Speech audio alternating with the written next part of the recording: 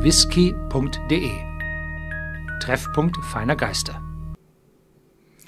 Guten Abend und herzlich willkommen bei whisky.de, dem Treffpunkt feiner Geister. Mein Name ist Horst Lüning und hier sitzt mein Sohn Benedikt. Für alle die, die uns noch nicht kennen und die jetzt das erste Mal mit dabei sitzen. Wir wünschen zuallererst mal ja, frohe Weihnachten. Ja. Frohe Weihnachten euch allen zusammen. Und äh, dann wollte ich gleich am Anfang bitten, wer es im Chat noch nicht gelesen hat, wir brauchen ein bisschen stilles Wasser. Wenn Sie also noch jemanden schicken können oder so, Kranenburger, also aus dem Wasserhahn, reicht, sollte nicht zu kalt sein. Ähm, genauso wie der Whisky nicht kalt sein sollte. Wir brauchen noch kein Eis und brauchen noch keine Cola. Also, so. Das vielleicht so mal vorne weg. Und äh, hast du schon mal eine Zahl, wie viele Leute da sind? Ich, wir haben 324 Zuschauer das sieht doch gut aus und wir haben irgendwo einen Ton am Laufen. Nicht mehr. So, jetzt nicht mehr. So, gut. Okay, ja, fangen wir doch gleich an. Warum ist der unscharf? Weil ich nicht so viel streamen will. Ach so. Das ist normal. Es okay. alles gut. Gut, alles gut. Ja, wir sind ein bisschen aufgeregt, weil wir diesmal das Livestreaming mit Riesenansage gemacht haben. Mhm. Um, ähm, und dann sitzt man jetzt da, ho, ho, hoffentlich klappt alles.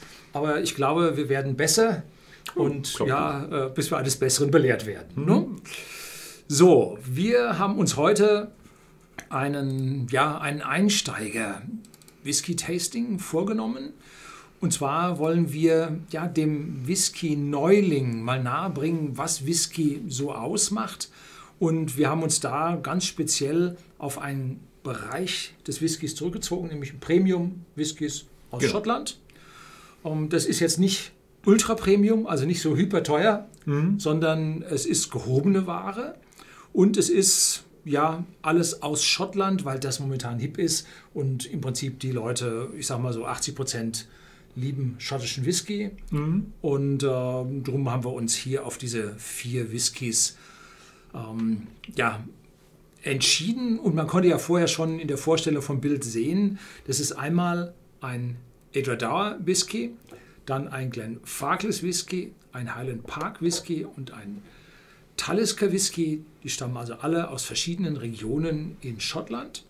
Und ja, warum ist das alles Scotch? Warum haben wir es hier mit ja, angelsächsischem Whisky zu tun? Nun, das liegt daran, dass ja, die Schotten schon seit jetzt über 500 Jahren mhm. Whisky produzieren. Das ist urkundlich erwähnt. Seit 1494 mhm. wird also in Schottland Whisky gebrannt.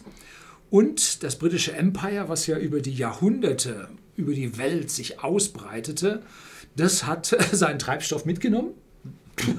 ja, und es das heißt immer so schön, äh, die Engländer haben das Empire regiert und die Schotten, Schotten haben es betrieben.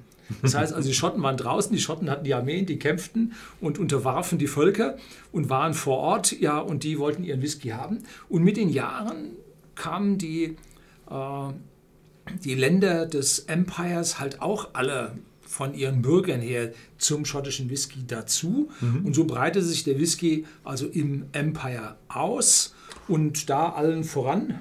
Haben wir, mal weiter? Ja, genau. Also wir haben Whisky überall auf der Welt verteilt. Aber es sind wirklich, wie Horst gesagt hat, die äh, Spuren des Empires haben das Ganze hinterlassen. Der, beim Premium-Whisky-Bereich geht es 90% um Schottland. Also hier oben die große schottische Fahne, das ist so der Standard. Alle, jeder Mensch kennt mh, hm, ein gutes Glas Scotch. Und wenn man dann weiterschaut, das nächste, was man dann kennt, ist hier drüben das ist die Fahne vom Commonwealth of Kentucky. Und da kommt der Bourbon her. Mittlerweile ist aber. Ach, du hattest noch was zum, zum Scotch, hattest du noch was. Was ja. ist denn Scotch? Ach so, wollen wir damit zuerst anfangen? Ja, mach, mach nur. Mach Dann nur. fangen wir damit zuerst an. Und zwar, ähm, machst du mich wieder groß oder Ach so, bleibst du klein? Ups, das bin ich. Ja. ähm, also beim Scotch geht es darum, dass wir eigentlich ein, zuerst ein Bier brauen und dieses Bier ohne Hopfen brauen, damit es nicht bitter ist. Gären das auch ordentlich durch, dass es 7, 8 Prozent hat. Und dann verbrennen äh, wir es auf Destillationsapparaten. Da kommen wir später noch ein bisschen stärker zu. Mhm. Um, und damit äh, kriegen wir also eine hochdestillierte Spirituose, die über 60 Prozent, 65 bis 70 Prozent aus den Brennblasen rauskommt. Dann geht es ins Holzfass und diesem Holzfass wird es dann gereift und anschließend wird es dann verdünnt und hier in die Flaschen gestellt. Mhm. Und äh, wollen wir jetzt schon mit ja, dem, ja, ja, mit dem äh, und da gibt es also ein schottisches Whisky-Gesetz, das war 1988 ist das mal so richtig äh, ins Detail gebracht worden und 2009 wurde es da nochmal spezifiziert und nochmal äh, genauer gemacht. Äh, also schottischer Whisky, damit er sich Scotch nennen darf, muss in Schottland hergestellt sein.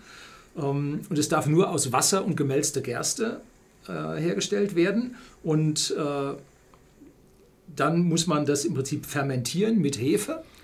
Und anschließend wird es also destilliert und zwar nicht höher als 94,8 Volumenprozente. Das hat zwei Gründe. A, kann man es nicht höher destillieren, chemisch nicht. Oder sagen wir mit der mit Destillation schafft man es nicht höher und man würde die ganzen Geschmacksstoffe verlieren und dann würde der wie Wodka schmecken. Und das wollen wir nicht, denn Scotch soll besser und mehr schmecken. Und dann muss es in Holzfässer gehen, wie Sie hier die Flaschen auf unserem Fass stehen sehen. Und diese Holzfässer reifen den Whisky und übertragen dann Aromenstoffe aus dem Holzfass in den Whisky über die langen Jahre der Reifung. Also und da darf das Fass nicht größer sein als 700 Liter, weil bei diesen 700 Liter Litern ja noch genügend Fasswand da ist für den Inhalt. Wenn die Fässer noch viel größer würden, dann ist das bisschen Fasswand, was pro Liter äh, Whisky dann zur Verfügung stehen würde, so klein, dass es da keinen nennenswerten Aromaübertrag gäbe. Dann äh, im Prinzip darf man anschließend, wie ich es gerade sagte, nur noch Wasser zusetzen, um den zu verdünnen, aber nicht weniger als 40 Volumenprozente, denn dann ist kein Whisky mehr. Früher gab es Leichtwhiskys. Mhm. Die waren also, die, die, die amerikanischen gingen runter bis auf 25 Prozent. Äh, und lange Zeit waren 38,5 Prozent, glaube ich, zulässig. Ich weiß nicht, beim Wodka ist es, glaube ich, noch so. Mhm. Äh, irgendwie so. Aber mittlerweile ist also Minimumalkoholgehalt ist 40. Ja, und äh, man darf dann äh, auch noch ein bisschen Farbe zusetzen. Das ist aber für den Billigsprit gedacht. Hier bei unseren Whiskys, die wir auf dem Fass stehen haben, ist nur der letzte, den wir probieren werden, äh, ja, mit etwas Karamell vielleicht zugesetzt, um verschiedene Chargen, weil der Whisky reift natürlich in der Farbe aneinander anzugleichen. So, das ist also im Prinzip das, was das Gesetz mhm. sagt. Genau, das ist jetzt die schottische Gesetzgebung. Ich mache jetzt mal weiter und zwar bei den Amerikanern. Und die Amerikaner ähm, hatten auch ihren Bourbon Act. Ähm, Bourbon heißt er, weil Bourbon aus dem Bourbon County, das ist zur Ehren des französischen Königs Bourbon, der Haus der Bourbonen, ähm, oder hießen die Bourbonen? Ja, Bourbon. Bourbonen, mhm. die im Unabhängigkeitskrieg geholfen haben. Gegen die verhassten Engländer. Genau. Die heute ähm, Brüder sind. Genau. ähm, ist das äh, Bourbon County genannt worden und da kam der Whisky her, weil da besonders schönes, äh, gutes Wasser war und man damit den Whisky sehr schön machen konnte. Und der hieß dann Bourbon und musste aus dem Bourbon County kommen, aber heutzutage darf man in ganz USA Bourbon machen. Ähm, gibt aber auch ein bisschen Regularien. Title äh, 27 von den Electronic Code of Federal Regulations, äh, Alcohol, Tobacco, Firearms, also ATF-Code. Und äh, die Amerikaner benutzen 51% ähm, Corn, also Mais. Das ist ganz besonders, weil der dann so richtig schön süß schmeckt. Kennt man von den süßen Bourbons bei Amerikanern. Ähm, die Amerikaner müssen auch ähm, niedriger destillieren bei 125 Proof ins Fass abfüllen und nur mit frischen Fässern darf äh, das Ganze verwendet werden. Ja, 125 und, Proof durch zwei, dann hat man Alkoholstärke. Genau, das sind die, die, amerikanischen Proof. Mhm. So, ähm, was man dann auch noch als nächstes kennt, ist, ah, warte, ich schalte wieder um, was man als nächstes kennt, ist diese Fahne hier. Kennt man, die Fahne kennt man nicht, aber man kennt die Produkte aus diesem. Um, um genau zu sein, es sind Flaggen. Flaggen, ja. Es sind staatliche Staatsflaggen. Staatsflaggen, ja. Das ist äh, the State of Tennessee. Und aus dem State of Tennessee kommt der Tennessee Whisky. Denn wer genau äh, ein bisschen mehr über Whisky weiß, weiß, äh, zum Beispiel Jack Daniels ist kein Bourbon. Das ist ein Tennessee Whisky. Und der ist ähnlich, also er muss aus Tennessee kommen, hat 51% Mais, äh, darf nicht höher als 160 Grad äh, Proof destilliert werden, auch in frischen Eichenfässern abgefüllt werden und äh, gereift werden, wobei hier nicht drei Jahre steht. Ähm, und er muss aber nach dem Lincoln County Process ähm, verändert werden. Das heißt, nach dem Destillieren wird der Whisky nochmal durch eine Holzkohle gefiltert und die Holzkohle muss aus äh, through Marble Charcoal, also das ist so Zuckerahorn. Der wird dann verbrannt und daraus entsteht Holzkohle und da kann man den Whisky dann filtern und dann wird der besonders weich, wie man das von den Tennessee Whiskys so kennt. Ja, das sind so die, die ja, ganz großen. Ja, vielleicht noch ein bisschen rundherum sieht man noch ein paar ganz andere genau. Flaggen stehen. Dazu kann man jetzt vielleicht sagen, man sieht so ein bisschen auch das britische Empire, sieht ja. man hier wieder. Ne? Man ja. sieht also da äh, in USA, aber auch in Kanada äh, die ja heute noch die äh, britische Königin als mhm. Staatsoberhaupt haben. Genauso Indien, Indien als ehemalige mhm. britische Kolonie.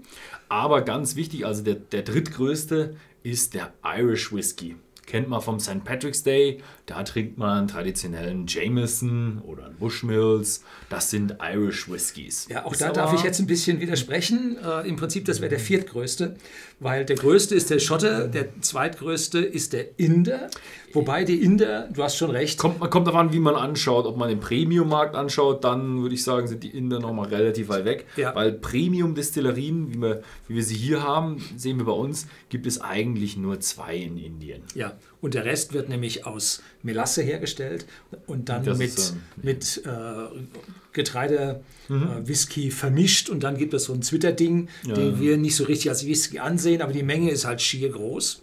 Mhm. Um, ähm, ja, und dann die Japaner, die haben das dann zwischen den Weltkriegen, haben die das. Ja, da ist äh, äh Yamanaka Taketsudo, äh, der Herr Taketsudo, ist nach Schottland gegangen, hat das gelernt und hat den Whisky nach Japan gebracht und sie haben mittlerweile eine sehr respektable Whisky-Szene. Also da gibt es mhm. wirklich sehr gute Whiskys, auch alte Whiskys und eben meistens nur Premium-Whiskys. Ja, und jetzt hast du unten mit dem Bild, äh, unten rechts im Eck, hast du jetzt noch Australien äh, ja. überdeckt. Da gibt es also auch noch ein paar Brennereien. Südafrika hat ein paar Brennereien. Ja, äh, also so am, am, am, Ende ist das, das die, sind das die Länder des Empires und dazu kommt natürlich in Zentraleuropa Deutschland, wir haben über 100 Whiskybrennereien, mhm. die allerdings die meisten mit Obstbrennblasen brennen und damit schmeckt der Whisky ja. nicht so ganz, wie wir uns Whisky vorstellen. Mhm. Äh, und dann Schweden noch. Da gab es so, einen, so einen kleinen Hype mit äh, Wegfallen von Subventionen, haben sich dann viele Bauern gedacht, oh, was mache ich denn jetzt?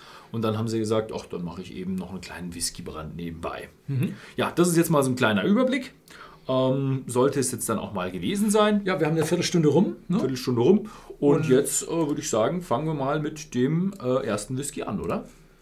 Jo, wie viel haben wir online? 686. Es ist ganz gut, dass wir vielleicht diese 15 Minuten gewartet haben, hm? äh, dass wir einfach mehr haben. Sagst also, du noch ein bisschen was zur Reihenfolge?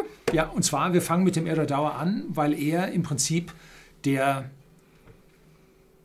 ja, der am einfachsten zu äh, zu probierende Whisky ist, der in schon einen guten Teil in Sherryfässern reifte, damit vergleichsweise weich ist.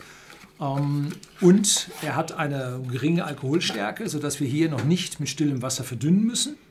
Und das äh, prädestiniert ihn nun als Einsteiger dann kommt der Glenn Farkless, den manche hier ans Ende gesetzt haben wegen dem hohen Alkoholgehalt. Wir werden ihn aber runter verdünnen, damit er nicht so brennt. Und dann kommt er im Geschmack von der Intensität her dem Eredauer schon ein bisschen näher. Dann kommt als nächstes der Highland Park von den Orkney-Inseln ganz im hohen Norden. Der zeigt einen ganz leichten Rauchgehalt. Und dieser Rauch ist jetzt etwas Besonderes, etwas anders.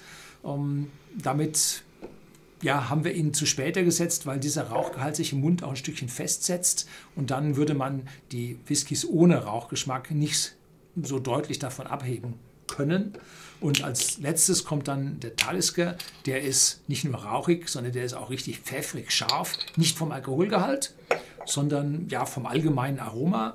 Und damit äh, tun wir den zum Schluss äh, obendrauf, damit hier äh, diese Schärfe dann die anderen nicht so, jetzt kommen wir dazu, ähm, wie viel schenkt man sich denn ein? Normalerweise heißt es einen Dram. Ein Dram ist im Prinzip ein großzügiger Schluck. Äh, so ist er ungefähr definiert. Und mit unserem Glas, ähm, das sagen wir später was zu, oder? Du hast das Nö, nö Glas kommt, kommt, jetzt. Glas kommt jetzt, gut. Äh, Aber eigentlich so mit dem Probieren. Mit dem Probieren, okay. Also. also wir schenken jetzt ungefähr ein, ich sag mal das ist jetzt ein guter Drum. Ich werde ihn jetzt gleich nicht austrinken, weil das ist dann, bis wir beim vierten sind, fange ich hier Stammeln an. Nein, tue ich natürlich nicht, aber äh, wäre mir dann am Ende dann doch ein bisschen viel. Ähm, und wir haben jetzt hier ein Glas, das hat einen Stiel, damit man es schön anfassen kann. Es hat einen vergleichsweise großen Teller, damit man es nicht umstoßen kann. Es hat einen bauchigen äh, Kelch, damit der Whisky breit da liegt mit einer hohen Oberfläche und dann schnürt sich das oben zusammen zu einer Tulpe, damit im Prinzip das, was hier unten verdunstet, äh, oben sich konzentriert und man es dann mit der Nase einziehen, wow, ist der gut, mit der Nase einziehen kann. Und dann gibt es oben eine Lippe, damit der Whisky breiter ausfließt, damit er nicht so mit dem Schwall nach hinten geht. Und hinten schmeckt man vor allem Bitterkeit. Äh, und dann kriegt man praktisch die Eichenaromen, die zum Teil bitter ausfallen, als allererstes. Und das ist dann fürs Geschmackserlebnis nicht so doll. Also das Wichtige ist, nicht die typischen Whisky-Tumbler zu nehmen mit dem zylindrischen, äh, der zylindrischen Glasform. Das ist, damit man da besser Eis reinschmeißen kann. Bloß was passiert physikalisch, wenn man Eis reinschmeißt? Das Ding kühlt ab und wenn es abgekühlt hat, dann verdunstet das nicht. Dann geht einfach, gehen die Aromen, die Geruchsstoffe nicht in die Luft und wir können sie nicht riechen. Und das ist dann typischerweise für die Leute da, die eigentlich die Wirkung des Alkohols eigentlich am besten spüren wollen. Äh, und die tun dann Eis rein dann hat dieses Glas typischerweise so einen dicken Glasboden. Dann kann man dann im Prinzip die Hand drunter stellen und durch das Glas wird es isoliert und das Eis schmilzt nicht. Und das ist also schon mal äh, ganz schlecht. Ja, das also, ist halt für Wirkungstrinker, ne? Für Wirkungstrinker. Ne? Aber wir sind hier nicht zum Wirkungstrinken, sondern für, zum Genießen. Ganz genau. Und jetzt ähm, kommen wir gleich zum ersten Schritt, dem Nosing. Das heißt, man riecht am Whisky und da riecht man schon eine ganze Menge. Und ihr könnt gerne mal in den Chat reinschreiben, was ihr denn alles so riecht. Wow. Zuallererst für die Einsteiger, man riecht an dieser Stelle jetzt auch ein Stück weit Alkohol. Wer ein absoluter Einsteiger ist, der wird zuallererst ausschließlich Alkohol riechen, obwohl dieser Whisky nur 40 Volumenprozente hat, also das gesetzliche Minimum gerade so erreicht. Ähm, und man muss ein Weilchen dran riechen, bis man sich an gewisse Aromen gewöhnt. Und man gewöhnt sich immer zuallererst an die stärksten Aromen. Also hier in diesem Fall dann den Alkohol. Okay, haben wir gleich mal zwei Leute, Manuel Meyer und Philipp Baumann, Vanille. ja, das, das ist normal. Das ist normal. Das stammt daher, dass hier diese Fässer von innen ausgebrannt werden, diese Eichenfässer. Und Eiche äh, enthält einen hohen Prozentsatz an Lignin. Lignin ist die harte Substanz in dem Hartholz und dieses Lignin, ähm, der Rest vom, vom Holz ist Zellulose und dieses Lignin wird durch das Ausbrennen und Erhitzen der Fässer, die man sagt, die werden thermisch aktiviert, wird aufgespalten und da entsteht, ups, wer hätte das gedacht, das Vanillin. Vanillin. So. Ja, so, wir haben Sepp Blatter. Der Raum ist, Rauch ist kaum spürbar, aber die Honigsüße ist deutlich im Vordergrund. Ja, Rauch ist auch keiner drin. Ja. Aber die Honigsüße habe ich auch. Ähm, das Ausbrennen der Fässer mhm. führt jetzt nicht zu Rauch, sondern zu Holzkohle im Fass und die saugt oder absorbiert die scharfen Bestandteile, die in solchen äh, jungen Whiskys drin sind. Und wenn der dann zehn Jahre da drin gereift hat, sind die scharfen Bestandteile alle in der Holzkohle gelandet und kein Rauch. Mhm. Rauch, mhm. kommen wir, wie das funktioniert, kommen wir später, später drauf. Axel Rose, Toffee. Ja, das ist, geht so ein bisschen Richtung Vanille, Karamell. Ne? Und das Karamell entsteht dadurch, dass wir äh, die Zellulose vom Fass durch diese thermische Aktivierung. Das wird also ein paar Minuten auf 150 Grad erhitzt und dabei kocht dann das Wasser im Holz und karamellisiert den Zucker. Und das, die Zellulose spaltet sich auf in Zucker und der Zucker karamellisiert und dadurch wird dieser Whisky auch braun. Mhm. Der ist also nicht gefärbt. Und dieses, dieses, Karamell hat also so Übergänge dann mit Zucker und das riecht man nun als Toffee. Ne? Mhm. äh, ja, Philipp Baumann, reifer Apfel, äh, Kervino 27, leichte Minze. Ähm, dann hat Paul Mist Cheeseburger. Joe D, eingerittener Damensattel. Jo. Okay. Ja, Honig, Karamell, viele, viel Vanille. Vanille und Alkohol, bin Anfänger. Von Paul Miss. Viel Dai Dai Birne. Okay. Ja, und wenn man dann also die, genug gerochen hat. Ja, jetzt vielleicht dazu noch die Fruchtaromen, die stammen daher, dass die Hefen äh, den Zucker aus dem Korn, also das Korn besteht aus Stärke, die Stärke wird beim Fermentieren aufgespalten in Zucker und dieser Zucker wird in Alkohol vergoren und dabei entstehen auch fruchtige Bestandteile durch die Hefen. Und diese Frucht Diese Früchte kann man also ganz deutlich spüren. Die einen sind mehr Äpfel und Birnen. Und wenn die Whiskys älter werden, dann wird das mehr so Dattelfeige und so. Und zusätzlich riecht man jetzt noch äh, im Prinzip die Frucht vom Sherry aus dem Sherryfass, dem alten Sherryfass, in dem dieser Whisky auch reifte. Mhm. Ja, und dann? Tschüss, ne?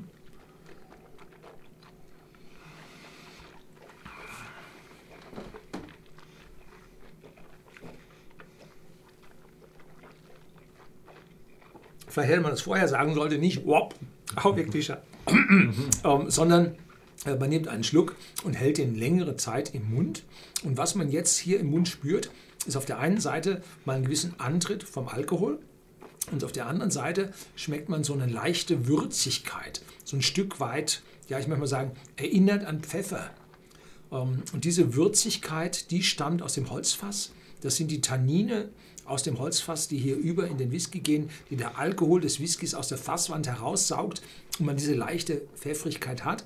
Und wenn jetzt der Whisky ein Weilchen schon den Mund verlassen hat, spricht man davon, das ist dann der Abgang. Und in diesem Abgang ist eine ganz zarte ja, Bitterkeit.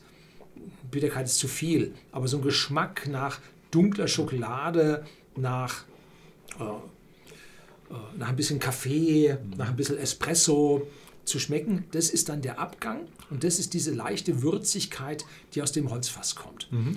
Ähm, weil hier so viel europäische Eichenfässer verwendet werden, ähm, haben wir es hier also mit der deutlicheren Bitterkeit. Mhm. Mhm. Und äh, also für den, für den Experten ist der jetzt ziemlich sanft, mit einer guten Süße, leichten Fruchtigkeit und dann, wenn man ihn runtergeschluckt hat, breitet sich eben genau diese Würze aus. Ja, was habt ihr denn so alles im Glas? Braucht immer 10 Sekunden. Also wir sind wirklich 10 Sekunden vor, vor euch dran. Ist mal schön zu wissen. Ich bin Was? schon vom Stuhl gefallen. genau. mm. Sepp Blatter. Cremig wie eine Cremeschnitte. Ja, die Abgang Öligkeit. Eichig. Oh, ja, Abgang eichig. Diese Cremeschnitte, da gibt es immer eine gewisse Öligkeit im Whisky, weil im Prinzip hm. die Öle mitkommen. Ne? Finde ich aber auch, dass der hier so, so ein einen guten, guten Teil Cremigkeit, Öligkeit drin hat. Leicht, aber sehr füllend. Mhm. Der ist. Mhm. Honig im Abgang. Schmeckt leicht nach überreifer Mango. Mhm. Ja, ein überreifer Mango ist dieser leichte Alkoholstich, der da Nuss drin ist. Im ne? Abgang. Ja. Mhm. Nuss, Nuss stammt typischerweise auch von den Eichenfässern. Wenn man so ein Oloroso Sherry-Fass ausgeleert hat und riecht da dran, dann kommt dann richtig Nuss kommt da durch. Ne? Mhm. Ja. Schauen wir mal, zeitlich sind wir fortgeschritten. Ja, 22 Minuten sind wir gut dabei. Okay. So, ja. wollen wir dann übergehen mhm. zum nächsten? Dann gehen wir mal weiter. Und zwar gehe ich jetzt mal ein bisschen auf die Produktion ein. Ähm, ja, es fängt alles an mit Getreide. Also wir haben im Schotten, schottischen Whisky haben wir ziemlich 100% Gerste. Ja, im schottischen Whisky, nicht im schottischen Malz-Whisky. Im schottischen Malz Single Malt Whisky, ja. ja. Also wir haben hier alles Single Malt Whiskys. Genau. Und dort wird das Getreide eingesetzt. Und das Getreide muss gemälzt werden, um die Stärke im Getreide in Zucker umzuwandeln. Deswegen lässt man das Korn keimen, sodass das Korn mit Enzymen diese Stärke aufspaltet und daraus dann Zucker entsteht. Das lässt man erst einweichen, dann breitet man das hier aus, wie man das sieht. Und das Malz muss dann regelmäßig gewendet werden, damit es nicht anfängt zu schimmeln. Und das mache ich hier einmal. Benedikt bei der Arbeit. ja, das ist jetzt bei Lafroig und ähm, da gibt es auch ein schönes Video davon. Und äh, ja, das ist jetzt die sehr traditionelle Methode. Ähm, heutzutage hat man sehr große ja, Komplexe, die das Ganze dann in der Trommel machen oder in äh, Saladin-Boxes. Aber Trommeln sind mittlerweile eigentlich angesagt. Nachdem man das Getreide dann gemälzt hat, ähm, muss man das Ganze ähm, meischen. Das heißt, man muss daraus einen, äh, das, den Zucker und äh, noch Teile von der Stärke auswaschen, aber hauptsächlich Zucker. Und das wird dann in so einer ähm, in so einem Läuterbottich gemacht. Und da wird dann, ähm, gibt es mehrere Waschvorgänge, dem sehr heißes Wasser zugesetzt wird und der löst dann die äh, Zucker im Malz aus und eben auch ein wenig von der Stärke. Und man hat am Ende dann einen sehr, sehr zuckrigen und sehr, sehr süßen, malzigen, ähm, ja, ein malziges Gemisch, das man äh, im Grunde auch äh, zu einem Bier weiterverarbeiten könnte.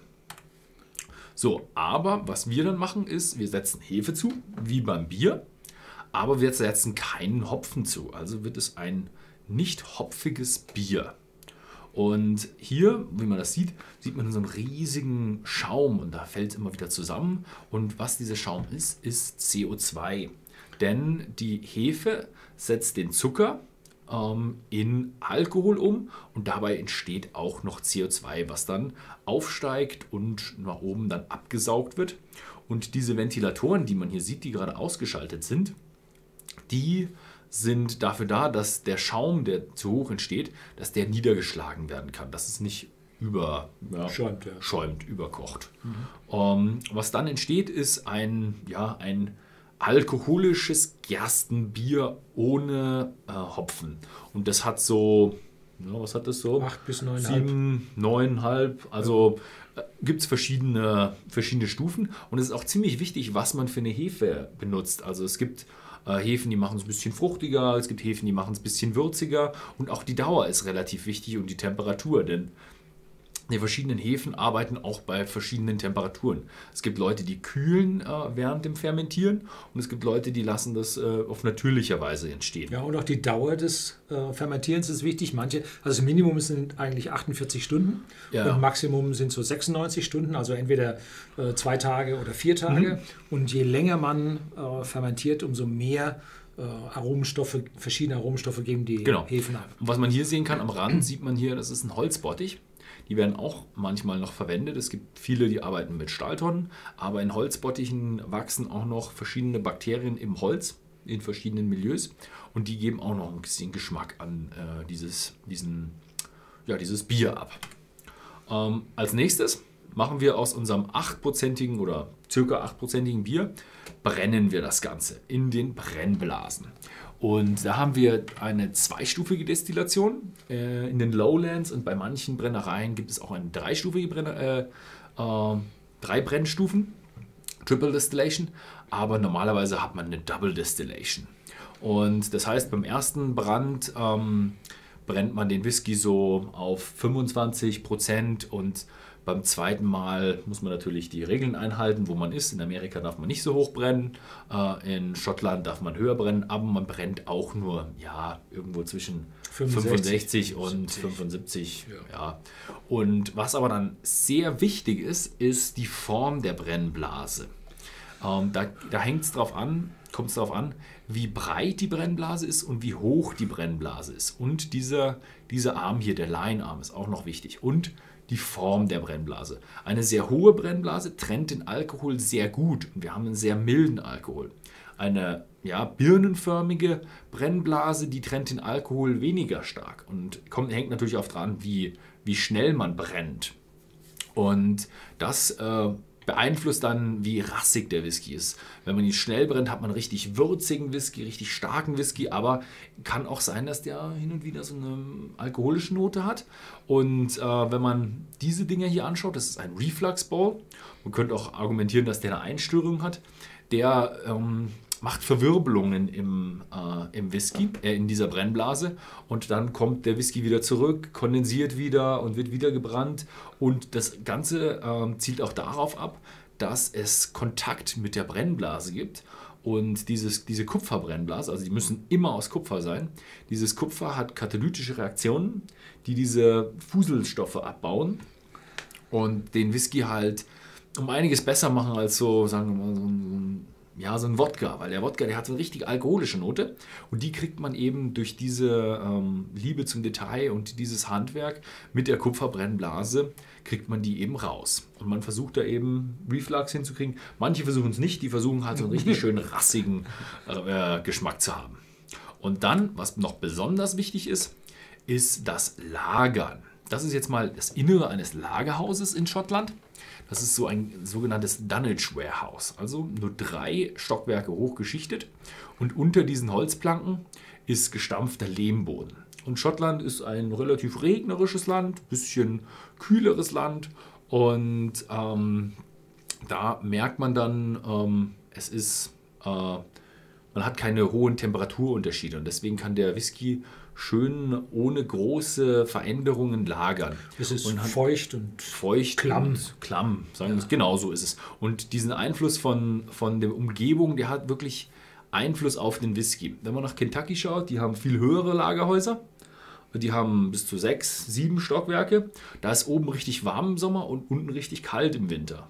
Und äh, das Holz ist ein Naturprodukt und das arbeitet und das dehnt sich aus und zieht sich wieder zusammen. Und während es sich ausdehnt, nimmt es mehr Whisky auf, hat damit äh, mehr Kontakt zum, zum Holz und man bekommt einen intensiveren Holzgeschmack. Deswegen hat man beim Bourbon so einen richtig intensiven Vanille-Karamell-Geschmack, weil man eben diese Vanille und die Karamell, die der Horst vorher beschrieben hatte, im Holz in den Whisky reinbekommt. Und der hat dann auch so eine richtig kräftige Farbe.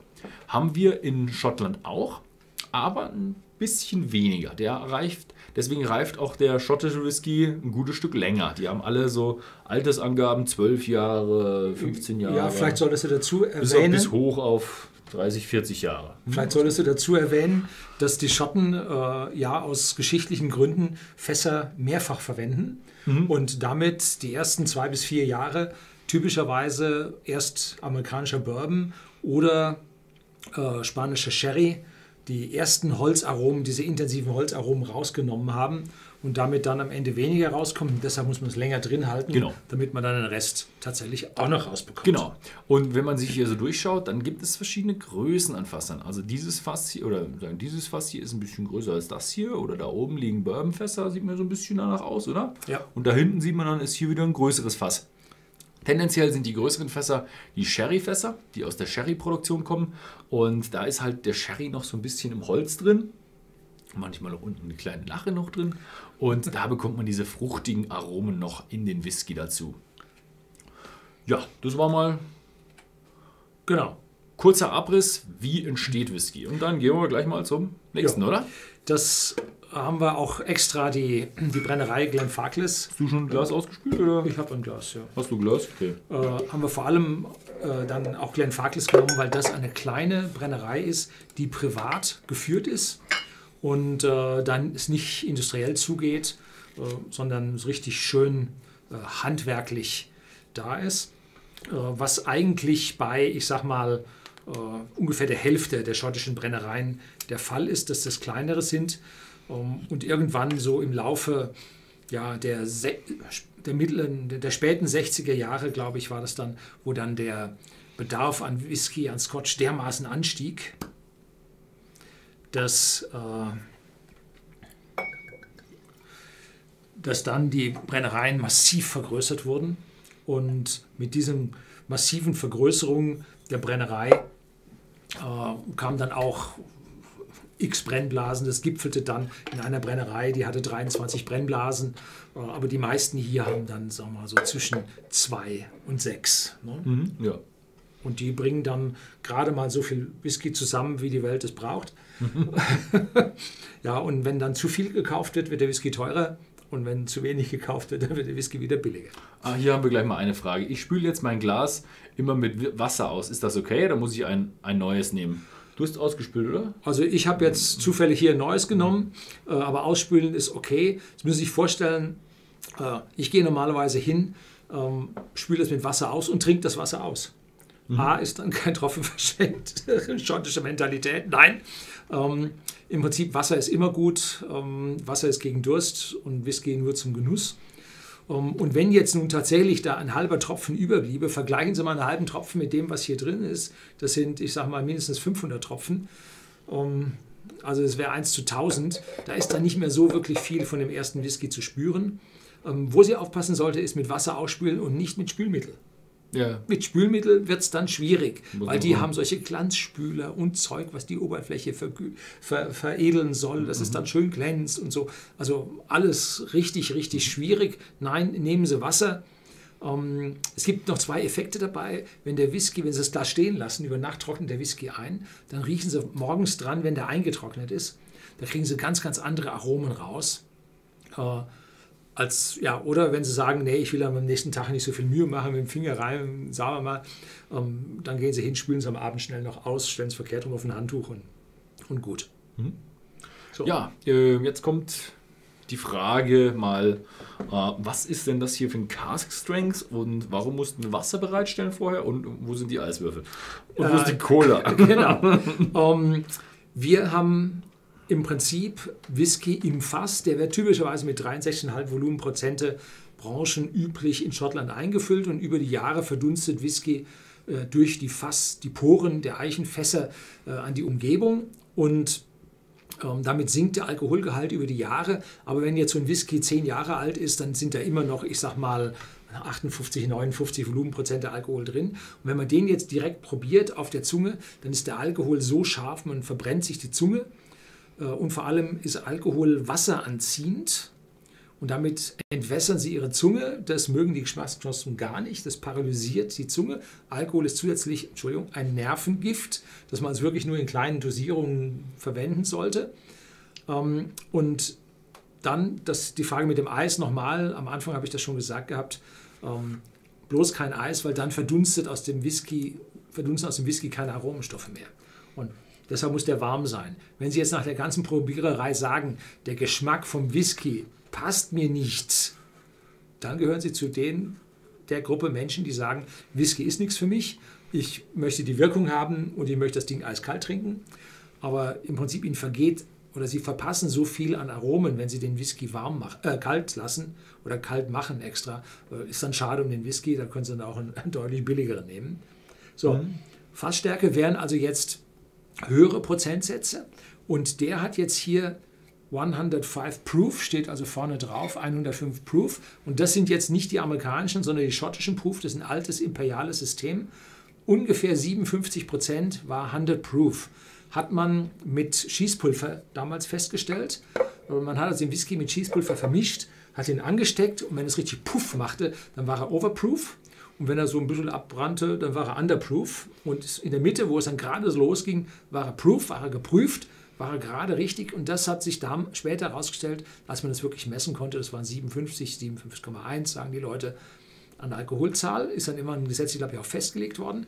Und alle 5 Volumenprozente Alkohol, nein, alle 3 Volumenprozente Alkohol sind 5 Proof.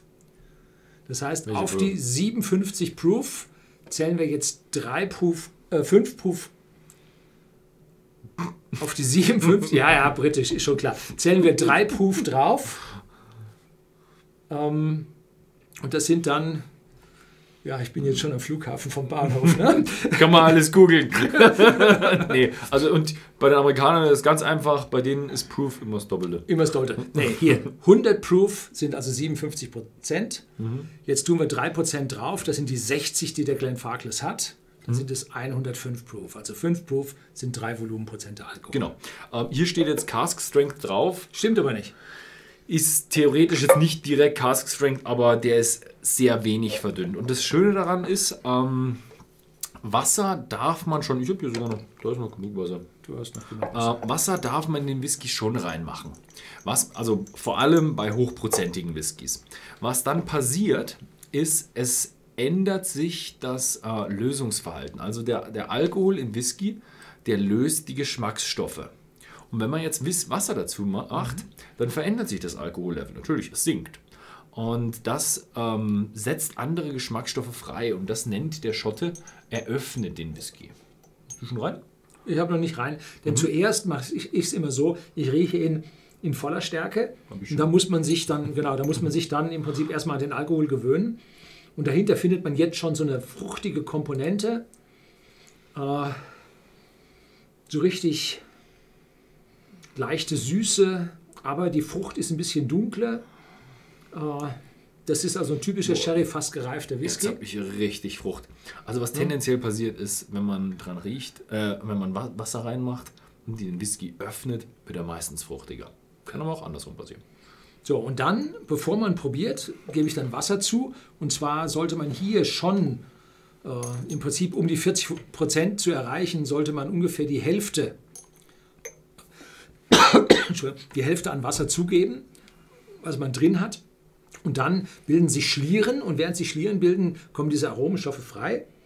Mhm. Die kann man jetzt wunderbar daran erriechen. Also ich habe richtig schön ja. frische Apfel, frische Birne. Genau, jetzt die, sind die Früchte nicht mehr so dunkel, sondern sie sind leichter. Aber richtig, richtig heftig. Und wir haben auch schon ganz schön, ganz schön heftig Leute, die was erzählen. Äh, Julian äh, Brecker Cassis. Big L, extrem übstlich. Äh, Mac Torfstecher. Marzipan. Ja. ja. das Marzipan kriegt man öfter bei solchen äh, Sherry-fast gereiften Whiskys. Die kommen, Manuel Meyer, Lakritz. Lakritz aber normalerweise erst nach dem Probieren. ne, ne, ne, ne, ne, schon probiert. Nurkan Ernst, Birne mit Salz. Salz kann in diesem Whisky nicht drin sein. Das ist eine uralte Diskussion, äh, wenn Whisky salzig ist, weil der ist destilliert und die Ionen würden zurückbleiben. Äh, der kann nicht salzig sein und aus der Luft, äh, Glenn Farkless liegt hoch in, in der Space Side, äh, kommt auch kein Salz hin. Ähm, Im Prinzip, das ist eine Erinnerung an Salz. Das ist ein Salzgedanke. Nehmen Sie mal einen Salzstreuer, tun Sie zwei Körnchen Salz rein, probieren wieder, der ist versalzt, der schmeckt mhm. furchtbar. furchtbar. Haben wir auch schon mal gemacht. Haben wir auch schon mal gemacht. Konstantinos Mastra, Mastratonas, Birne, ganz viel. Ja. Äh, krass, wie anders der alleine riecht mit etwas Wasser. Ja, also das finde ich immer wieder beeindruckend. Ah, Marzipan, habe auch dazu dunkle Kirsche. Ja, vorher gab es auch eine Diskussion, dass da eine Menge Kirsche drin ist. Ja, hm. also es ist wirklich ein. Äh, wirklich boah, ich habe hier richtig viel Wasser reingetan. Aber ich bin noch bei, boah, bei 50. Also er ist nur ein ganz schön. Also der hat mehr Alkohol als andere Fassstärke Whisky, die schon älter sind, die schon runter sind. Also die 60 muss man heftig runter verdünnen. Und jetzt habe ich den gleichen würzigen Eichengeschmack im Mund, den ich vorher in Art und Weise bei Edward Dauer hatte. Aber ich habe mehr Fruchtkomponente dabei. Und wenn Sie sich jetzt hier überlegen, diese Flasche ist jetzt nicht 0,7, sondern 1 Liter. Das ist die einzige Literflasche, die wir hier dabei haben. Und jetzt können Sie noch mal zur Hälfte mit Wasser verdünnen. Dann geht da richtig viel raus und dann wird dieser Whisky also auch preisgünstig. Oh, mhm. Schöne Sache. Mhm. Mhm. Abgang ist aber jetzt nicht so bitter und die Lakritze habe ich jetzt im Abgang hm, ja noch nicht wirklich, mhm. denn die Lakritze ist ja gekochtes Süßholz ähm, und hat dann so einen, so einen Hauch zur Bitterkeit rüber. Ne? Mhm. Also ich habe ihn jetzt am Anfang im Mund, habe ich ihn auch ziemlich fruchtig und süß, aber wenn man runterschluckt, merke ich jetzt auch diese ganze Würze mit einem guten Stück Eiche ganz leichte Pfeffrigkeit drin, aber eher so ein weißer, roter Pfeffer. Mm, lecker. Mm. Aber man merkt schon immer noch kräftiger Sherry Whisky. Äh, Sie sehen jetzt Was hier, habt ihr denn alles im Glas? Ja, jetzt sehen wir hier, dass ich mit der Pipette da das zugefügt habe. Das mache ich normalerweise nicht. Ich mache das jetzt, weil Benedikt die Pipette da drin hat. Normalerweise gieße ich ganz vorsichtig nach äh, oder ich nehme einen Teelöffel und tue dann ein bisschen mit dem Teelöffel das Wasser dosieren. Teelöffel ist relativ praktisch. Teelöffel ist praktisch, wenn man so eine P mhm. äh, Pinzette, wollte ich schon sagen, Pipette nicht, nicht zur Hand hat. Iran Gaming, Backobst. Ja, das habe ich auch öfters. Mit Wasser gibt es eine schöne Trübung. Ja, das liegt. Nicht. Doch, ich habe hab nicht genug reingetan. Du hast nicht genug reingetan. ja, ich bin immer einer, der. Ich, ich trinke auch gerne Cask Strength Whisky. Pur. Und zwar, was wir jetzt hier haben, die Lösungsfähigkeit des Alkohols nimmt so weit ab, dass sich ja, leichte Trubstoffe da drin zusammenballen zu sogenannten, oh Gott, wie hießen die Dinger? Mizele, glaube ich. Ähm, und die äh, ja, bilden jetzt diesen Niederschlag. Und jetzt gibt es manche Whiskys, äh, die werden jetzt kalt gemacht, dann trübt der nochmal extra und werden dann durch den Filter gepresst. Dann sind die äh, glasklar und auch wenn man dann nachher verdünnt oder dann, was man nicht machen sollte, mit Eis probiert, dann werden die nicht mehr trübe. Ja, und mit Eis werden manche eben trübe, aber. Und, und, dann sagen die Leute halt, uh, das ist ein schlechter, der ist trüb geworden. Ja. Aber, ja. aber die, die Experten sagen dann wieder kühl filtriert, dann nimmt man was raus aus dem Whisky und die schmecken dann auch nicht mehr. Also, ja. Ähm, kühl filtriert, ich bin da mal. Also, wenn ihr irgendwo mal Flocken im Whisky drin seid, habt ihr einen nicht kühl filtrierten Whisky. Der ist wirklich gut. Aber ihr solltet die Eiswürfel nicht reintun. so, was haben wir denn hier? Daniel äh, Kunz. Genau, Backpflaume habe ich auch. Je Lohaus. Trockenfrüchte Sherry, wunderbar voll. Äh, Flöte 69, gebrannte Mandeln. Oh ja, also ja, die haben. Mhm. Ja, doch, gebrannte Mandeln mhm. habe ich jetzt auch. Der tolle, würzig. Aber wenn man ihn mit Wasser ordentlich verdünnt, dann kommt auch diese Karamellnote wieder durch. Ne? Ja. Welches Wasser benutzt ihr da? Ja, das gibt es also bei uns im Shop. Kleiner als das Pfand, also um mhm. dem Pfandgesetz auszuweichen, ist es kleiner als 0,1 oder so. Mhm. Und das ist jetzt äh, Whisky Water of Scotland. Also es ist wirklich schottisches Wasser. Aber Leitungswasser tut es auch. Leitungswasser. Bloß kein Sprudelwasser verwenden. Genau. Und beim Leitungswasser ist dazu zu sagen, ah, kann man nicht nehmen, wir haben so hohen Kalkgehalt. Ha! Achtung, äh, wie war das bei den Kentucky? Whiskys oder bei, bei Tennessee Whiskys werden die nicht durch Limestone durchgefiltert? Ja, diese, dieses Bourbon County hat eben eine starke Limestone-Schicht. Das ist im Süden von Kentucky. Also der Bourbon kommt aus dem ganzen Süden von Kentucky und da ist genau die Grenze zu Tennessee. Und auf der anderen Seite in Tennessee gibt es dann eben noch die Tennessee-Brennereien. Die haben einen ähnlichen Boden. Und da wird der Whisky eben durch diesen, dieses Gestein ge, äh, gefiltert und da hat es sehr, sehr wenig Eisengehalt und sehr, sehr wenig äh, Kalk, oder? Nee, das heißt, oh, hoher Kalk. Hoher Kalk. Hoher Kalk. Wenig, wenig Kalk. so, also im Prinzip ist dieser Kalkanteil äh, egal, aber was Sie nicht haben sollten, ist Hydrogen, Hydrogencarbonat. Also wenn Sie da so ein, so ein, so ein, so ein staatlich fachiger stilles Wasser haben, A, ist es hochsalzig mhm. Äh, und B, hat es Hydrogencarbonat drin, das stinkt dann ein bisschen. Also das sollte man nicht nehmen, aber äh, ich sage mal, 95 Prozent der Leitungswasser sind durchaus geeignet. Ansonsten die stillen Franzosen, Evian, Vitel, das sind, ich nenne sie immer die toten Franzosen, mhm. weil die nur noch gar nichts mehr schmecken. Ne? Mhm. Oder auch ein bisschen destilliertes Wasser vom Wäschetrockner, geht auch.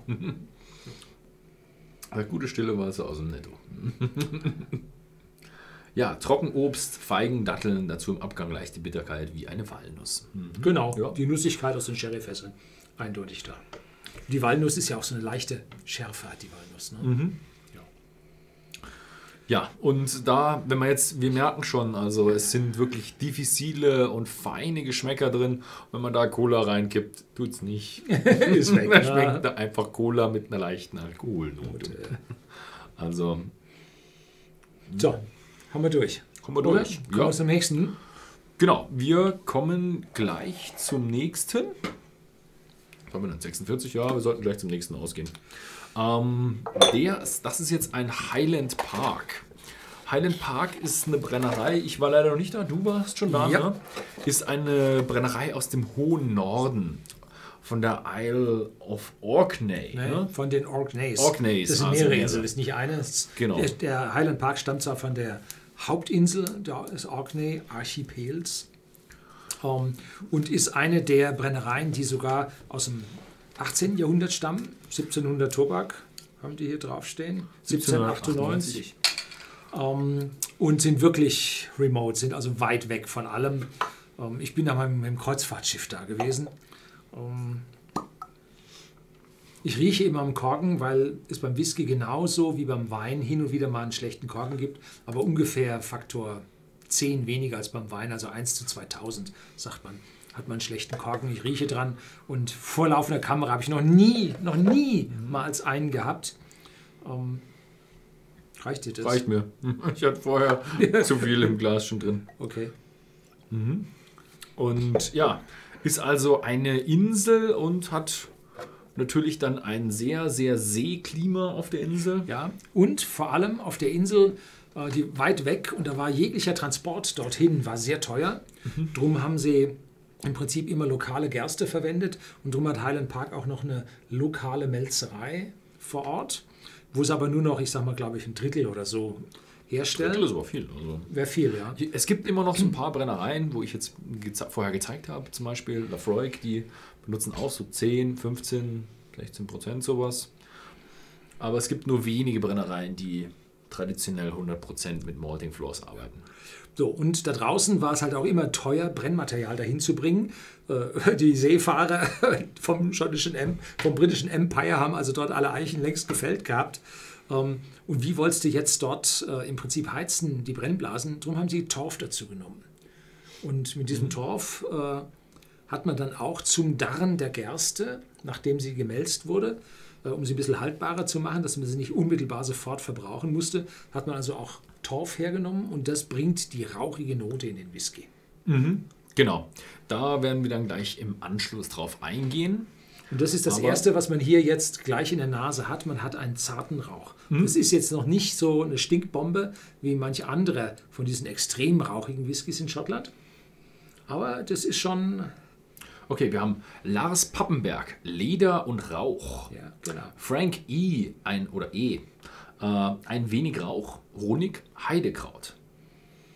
Das Heidekraut. 85 ja. riecht nach Medizin. Äh, das Heidekraut ist eine Komponente, die man öfter in mhm. Schottland riecht.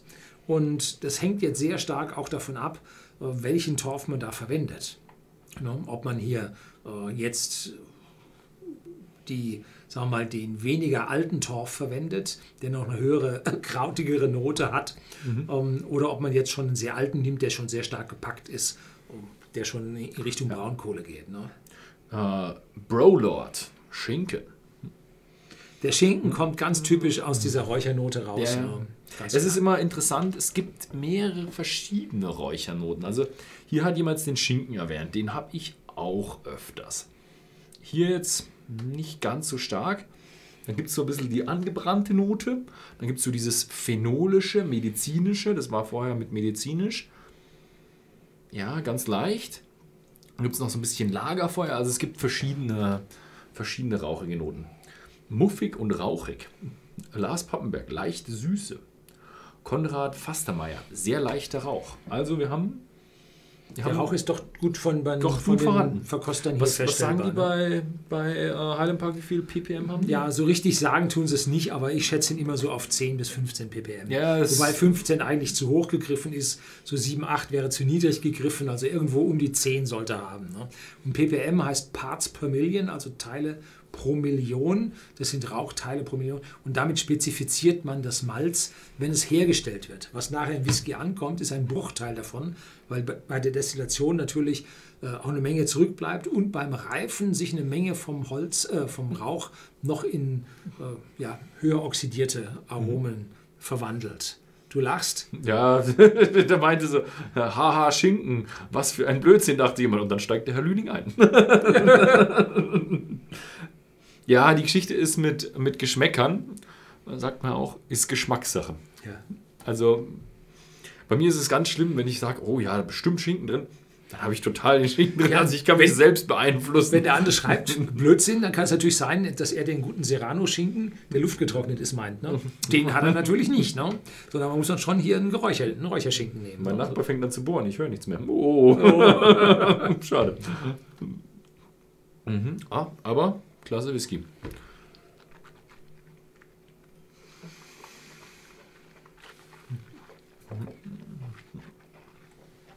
Mhm. Der hat jetzt 35 Cl, äh, nicht 35, ja, 35 in kleinen Flaschen, aber er hat nur 40 Volumenprozente und damit ist er vom ersten Antritt her sehr weich. Aber mhm. auch dann im Geschmack kommt mehr. Aber das ist jetzt nach so einem hochprozentigen Whisky, der ja, den man vielleicht nur auf 50 runter verdünnt hat, jetzt ein 40er hinterher. Das schmeckt alles erstmal ein bisschen wässrig.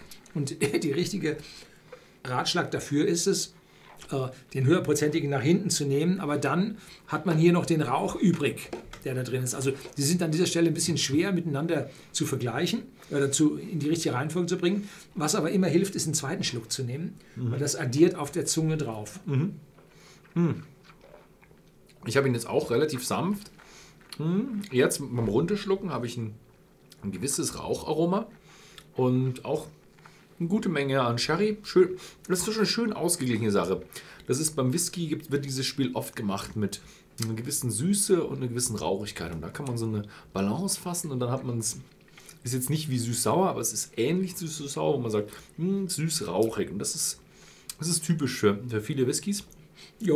Gibt es öfters, aber ich finde es einfach klasse. Dieses Spiel aus süß und und rauchig finde ich super geil. Jetzt nach dem zweiten Mal ist die Süße, bleibt im Mund hängen. Die bleibt drin. Der Rauch schlägt sich auch so langsam nieder am Gaumen.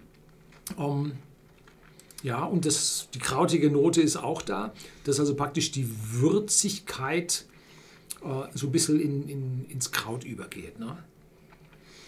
Mhm. Mhm. Hm. Äh, Markus Retzer. Ich habe eher eine leichte Lagerfeuer-Rauchnote. Im Geruch war deutlich mehr Sherry und Eiche zu vermuten, als der Geschmack zeigt. Im Abgang mhm. ist, der, ist die Eiche schwach. Ja, ja ich fand den, ich mhm. fand den im, äh, im Geruch fand ich den auch ein bisschen heftiger. Schmeckt laut meiner Frau nach Gummibärchen. die sagen wir auch immer öfters wieder. Mm, Gummibärchen. Die Gummibärchen kommen öfter, ja. Mhm. Das ist also keine, keine Ausnahme. Streichholznote, süß, würzig, elegant und milch. Die Streichholznote, das ist ja so dieser, dieser leichte Schwefelphosphor. Da gibt es hin und wieder eine Schwefelnote in einem Whisky, die sehr empfindliche Zungen oder Nasen bemerken. Und zwar werden ja Sherryfässer hin und wieder geschwefelt. Darum stehen ja auf diesen ganzen barrikgereiften Weinen und auf dem Sherry hinten drauf enthält Sulfite. Mhm. Äh, und diese extrem schwachen ähm, Schwefelnoten, die sind von manchen zu spüren und dann sagen sie, das ist Streichholz. Ne? Mhm. Also das gibt es vor allem dann zusammen mit dieser Rauchnote, so ein frisch angezogenes Streichholz ist dann zum Teil, gut, die modernen Leute, die haben alle Feuerzeuge, also die wissen nicht mehr, was ein Streichholz ist. Ne? Ja. Ananas habe ich im HP immer. Ich glaube, das handelt sich nicht um einen Anfänger hier. Dumanz 1. Ja, HP ist dann die Abkürzung für Highland Park. Finde den Rauch sehr sanft. Ja, das ist es ja, also genau. wirklich genau. einer der, wie soll man sagen, ja, einsteigerrauchigen Whiskys. Ja. Darum haben wir ihn extra dahin genommen. Ne? Dass genau. der also jetzt nicht so, wenn jetzt der Erste schon sagt, oh Gott, oh Gott, oh Gott, das brauche ich jetzt überhaupt nicht, dann lassen Sie die Letzte zu, haben Sie ein Geschenk, so ein nachträgliches Weihnachtsgeschenk, ne? äh, weil der wird dann vom Rauch noch ein bisschen stärker. Ne? Ja, also von mild zu stark geht ja. immer. Ne? Genau. Okay, so, um, jetzt dann geht es weiter. Jetzt erkläre ich euch mal, worum es beim Rauch geht. Das hier ist ein wer es kennt, ist ein Ballentorf oder ein Stück Torf. Und das ist im Grunde biologische Masse, also im Grunde Gras, Wurzeln und auch äh, Heidekraut. Heidekraut und auch gerne mal was, was ein Schaf hinterlässt. Und äh, das wird im Moor, versinkt das und wird unter Sauerstoffabschluss, also kein Sauerstoff, wird das Ganze zersetzt und beginnt langsam in den Prozess zu Kohle überzugehen. Und Torf ist das Zwischenprodukt zwischen äh, Biomasse und Kohle. Also es ist noch nicht ganz richtig Kohle. Und dieser Torf wird dann gestochen, aufgeschichtet, weil im Moor ist es feucht und der ist extrem feucht und wird dann getrocknet. Und dann wird der verbrannt. Und hier sieht man so ein Torffeuer. Das wird dann angezündet und brennt dann auch lichterloh. Und was man dann macht, ist, man nimmt einen Gartenschlauch und spritzt das ganze Ding ab, bis es nur noch raucht. Und das auch sehr großzügig. Und dann entsteht ein richtig, richtig dicker Quarz. Quarz. also so richtig. Also wenn man da rein, rein langt, der ist auch kühl. Also es ist kein heißer Rauch, sondern ein kühler Rauch. Und der ist richtig dick. Also es ist schon so fast seidig, wenn man da rein. Ja, vielleicht sollte man da jetzt nochmal den Unterschied zwischen Rauch und Dampf machen. Wenn man also mit dem Schlauch da reinspritzt, wird aus dem Wasser Dampf, aber die nicht richtig oder vollkommen verbrannten Torfreste ergeben Rauch und damit ist der größte Anteil Rauch mhm. und nur der kleinere Anteil ist Dampf, denn wir wollen ja mit diesem mhm. Rauch das, äh, die Gerste oben drüber dann trocknen. Ne? Genau. Also es ist ein gewisser Teil Dampf dabei, aber es ist ähm, zum großen Teil ist es Rauch. Und, also Entschuldigung, ähm, nochmal, Rauch sind feste Teilchen in Luft, genau, Dampf das sind, sind äh, Tröpfchen in Luft, genau. Flüssigkeit in Luft. Äh, das eine ist Wasser und der Rauch sind sogenannte Phenole. Da kommen wir später noch ein bisschen dazu. Und äh, so sieht dann der Trocknungsboden aus. Da wird das Ganze dann ausgebreitet und dann steigt dieser ähm, Quarz, dieser Quarz auf und äh, dieser Rauch und äh, trocknet damit das Gerstenmalz. Und ein Whisky zum Beispiel wie der Edward Dower hier vor mir oder der Glenn Farkless. Die nutzen dafür einen, ja, einen nicht rauchigen, sondern einfach nur ein heißes Gas. Feuer, Feuer mhm. und äh, eben Heißdampf. Heißdampf, also nicht Dampf, Heißluft. sondern Heißluft und ja. trocknen sie über Heißluft. Und die anderen machen das eben mit rauchigen, ähm, ja, rauchiger heißer Luft. Und dadurch äh, kommen eben diese Phenole und diese Rauchstoffe an das Malz ran und gehen in das Malz rein. Und das ist dann wirklich rauchig. Also wenn man dieses Malz isst, das schmeckt extrem rauchig. Vielleicht gibt es euch bei euch unter euch ein paar Bayern oder irgendjemand, der schon mal in Bamberg war. Da gibt es ja dieses Rauchbier, das Schlenkeler. Da gibt es auch das Malz, was man probieren kann. Das schmeckt auch extrem rauchig. Die haben aber Buchenholz und wir nehmen Torf. Und ja, das ist ein bisschen zu weit. und ja, so entsteht dann der Rauch. Und wie man den ganzen Mist isst, äh, wie man das Ganze misst, ist, man nimmt die, die Phenole. Mist ist es. Mist ist es. wie man das Ganze misst, ist, ist der Phenolgehalt in äh, ppm, also in Parts per Million. Da rechnet man also, wie viele Partikel pro Millionen Partikel hat denn dieser Whisky. Und da sagt man hier beim Highland Park sind so 10, 15. Ja, Vorsicht, das ist das, was das Malz hat, nicht der Whisky. Was es Malz, Malz hat. hat. Durch die ganze Reifung und so weiter ist man sicherlich noch Faktor 10 genau. oder so noch drunter. Ne? Und die Talisker sind dann sogar noch ein Stückchen höher. Und dann gibt es auch noch äh, Whiskys in Schottland. Was haben wir denn? Haben wir wieder? Hier, Kalila. Kalila. Die, da gibt es dann Whiskys, die um einiges raucher sind, rauchiger sind. Da geht es äh, die richtigen Whiskys sind dann so mit 40 äh, ppm, die sind dann aber schon richtig rauchig. Also da muss man dann wirklich den Rauch mögen. Jo. Ja. Aber Talisker hat auch noch eine Besonderheit. Talisker ist ein Whisky, der ist sehr würzig. Das liegt dann zum größten Teil an der Destillation, sagt man, dass die ein bisschen rassiger gebrannt werden, dass da noch, noch gut von diesen äh, ja, sie führen das Stoffen sind. auf den Leinarm, den du vorhin gezeigt hast. Der hat bei Talisker hat er so eine Absenkung und dann nochmal eine gerade Führung. Mhm. Also jeder schwört da auf was anderes.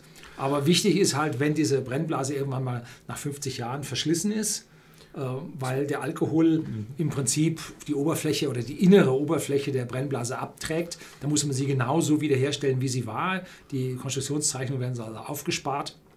Äh, denn sonst anschließend würde der Whisky einfach anders schmecken. Boah, da ist schon Rauch drauf. Hast du ein Glas? Ich muss mal jetzt ausspülen. Mach du mal erstmal deins. Ich habe irgendwo. Ich hatte doch noch ein Glas.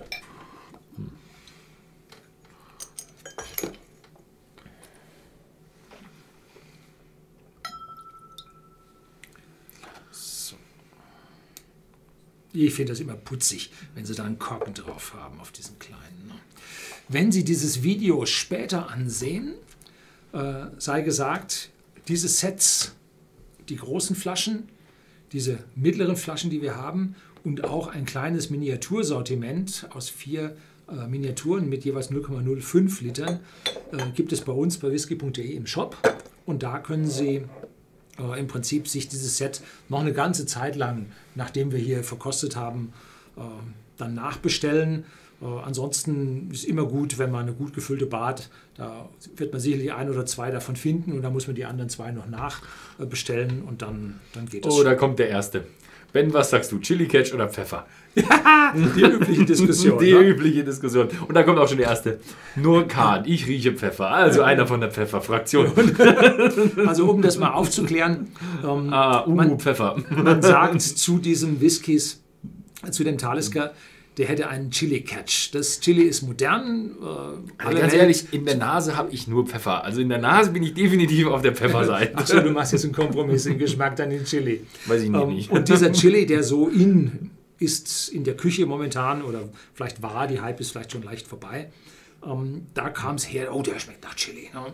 Und die klassische Fraktion sagt, nee, das ist scharfer Pfeffer und ähm, gut, je nachdem, ähm, das Gehirn hat ja auch noch Spiegelneuronen da kann man dann, wenn einer sagt Pfeffer, dann sagt er, oh ja, Pfeffer. Und hätte ich ihm vorher gesagt Chili, dann sagt er, oh ja, Chili. Äh, also da ist eine gewisse, das Hirn in gewisser Weise anpassungsfähig an das Gegenüber. Äh, und wenn jemand sich seine Meinung gebildet hat und dann kommt man erst auf den anderen, dann sagt der eine Chili, der andere sagt Pfeffer und dann äh, ist es eine Philosophiefrage. Was hast du? Irgendwie haben schon zwei Leute gesagt, ich hätte einen Flecken auf dem Kragen. Habe ich da einen? Ich glaube eher, dass es das Knopfloch ist hier. Oder ein Schatten. Was die Leute meinen. Okay, der Talisker 10 riecht und schmeckt voll nach gebackener Barban äh, Banane. Rübenkraut, ganz verrückt, aber es ist da. Senföl. Also jetzt haben sie ganz schön viele, Also zuallererst mal, es ist ganz deutlich der Rauch da. Und dazu habe ich eine Zitrusfruchtnote. Diese Zitrusfruchtnoten, seien es Zitronen, sei es Limetten, Limonen, Grapefruit, Orange, Saftorange, Clementinen. Diese Zitrusfruchtnoten sind sehr, sehr weit verbreitet unter den Whiskys. Und hier an dieser Stelle habe ich jetzt eine ganz normale zitronige, mhm. ja, muss sagen, zitronige Süße ist komisch, ne, weil Zitrone normalerweise sauer ist. Aber ich habe so eine zitronige Note mit dem Anschluss mit einer leichten Süße. Mhm. Also ich habe, ja, du interpretierst es jetzt als Zitrone, ich habe so diese, diese Frische interpretiere ich als Meeresfrische. Bisschen gepaart so ein bisschen mit dieser phenoligen Note, bisschen Rauch. Den Rauch ganz deutlich, ja. Rauch ganz deutlich und eben auch noch dem Pfeffer. Definitiv noch dem Pfeffer. Also ich bin noch, ich, ich komme noch gar nicht so mit mit, dem, mit der Würzigkeit. Sehr wenig süß finde ich ihn. Ich finde jetzt wirklich, also ganz wenig süß. Also ich habe auf keinen Fall den Pfeffer. Ich habe so im Anflug vielleicht so einen Hauch von Eiche. Aber Pfeffer habe ich noch nicht. Mhm. Ich habe keine Schärfe in der Nase. Mhm. Rauchig, aber er, er brennt in der Nase. Fruchtig. Okay, da hat wirklich jemand Frucht. Ich finde, der schmeckt nach Granatapfel. Ne? Ja, genau. Granatapfel hat auch diese leicht säuerliche Süße, ne? Äh, säuerliche Note. Mhm. Mhm.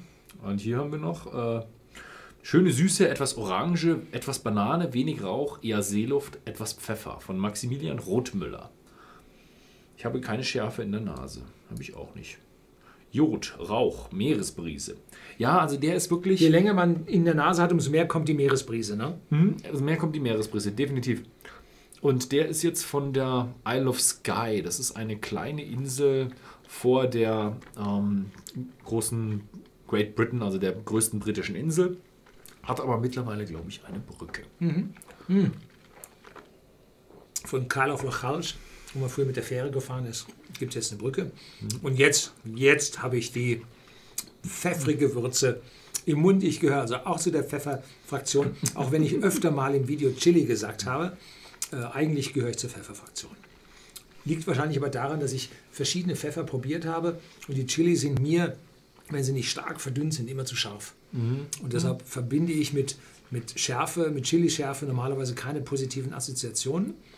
Und mit Pfeffer verbinde ich positive Assoziationen und damit habe ich jetzt hier. Mhm, mh. Und trocken also, wird es im Mund. Boah. Also im Geschmack ist er intensiv mit einer guten, guten Menge an Rauch. Oh, rauchiger, als ich in Erinnerung hatte. Mhm. Und ich kann es verstehen, warum die Leute Chili Catch haben. Er hat so ein, so ein, ja, so ein leicht angreifendes, wo du merkst, so, mh, hm, er geht so ein bisschen auf deine Zunge ein, so leicht, würde ich sagen, Chili-Catch an der Seite. Aber die Chilis werden noch definiert mit Sörensen. Nein, wie heißen die? Scoville. Scoville. ja, aber wie viel hat er? ja, fast nichts. also, ich bin schon der Meinung, dass er einen Chili-Catch hat, aber ich finde auch, dass er einen Pfeffer, Pfeffer-Touch hat. Also einen guten Pfeffer-Touch. Vielleicht ist es roter Pfeffer, schwarzer Pfeffer. Mhm. Tang, Pampelmuse und Gischt ist von Sepp Blatter. Mhm. Gab O, Bacon, pikant, explosiver Abgang. Ja, ja der Abgang pikant. ist hefter, ne? Mhm. Also der, der hat was. Wie, viel, wie viele Drehungen hatten der eigentlich? 45,8. 45, alle, alle Talisker, die nicht Fassstärke sind oder die nicht hochprozentig sind, haben 45,8. Ist nicht irgendwie Breitengrad oder irgendwie sowas? Nein, das war der 57er. Ach, 57. Die liegen auf 57 Grad. ähm, der Rauchgehalt wird jetzt, je länger man den probiert in der Nase hat, wird dieser Rauchgehalt höher. Und dieser Rauchgehalt um, würde ich mal sagen, liegt so bei 20 ppm. 20, maximal 25. Wenn man also weiter raus auf die Inseln geht, wird es also deutlich rauchiger. Da wird es also deutlich heftiger. Aber der ist noch, noch im Rahmen. Dennoch möchte ich nach diesem Talisker jetzt nicht zurückgehen und noch einen Edward Dauer probieren, mhm. weil das wäre Perlen vor die Säue. Ne? Mhm.